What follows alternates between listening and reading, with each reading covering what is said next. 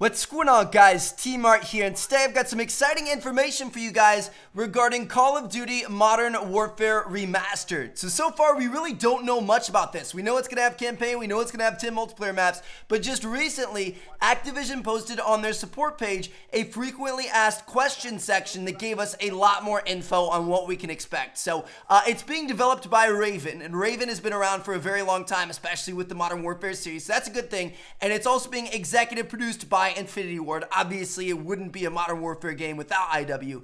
Um, you aren't going to have access to it unless you have Infinite Warfare. There's going to be no way to get it separately. It's not going to be sold separately. You have to get it through the Legacy, Legacy Pro, and the other kind of like special editions of the game in order to play it. There's no other way to do it. So you literally have to have Advanced Warfare to play this game.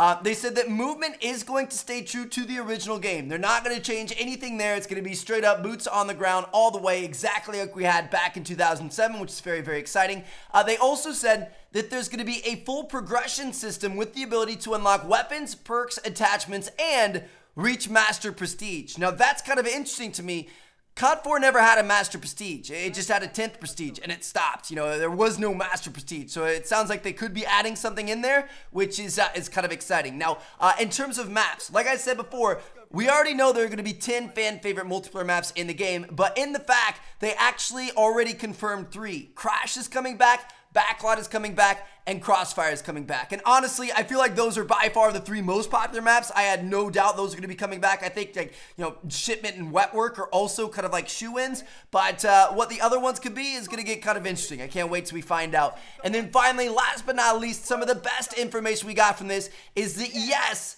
Call of Duty Modern Warfare Remastered is going to have dedicated servers. That's right, guys. We're going to have dedicated servers, which is insane. It's a pre-order bonus. It's like a bonus for the special edition of the game. Yet it's its whole game in itself. It's pretty cool. So uh, anyway, yeah, there you guys have it. Let me know what you guys think down in the comments. Which one are you more excited for? Call of Duty Infinite Warfare or Call of Duty Modern Warfare Remastered? Leave a comment down below. I'll catch you guys later. Thumbs up if you guys enjoyed. Peace out.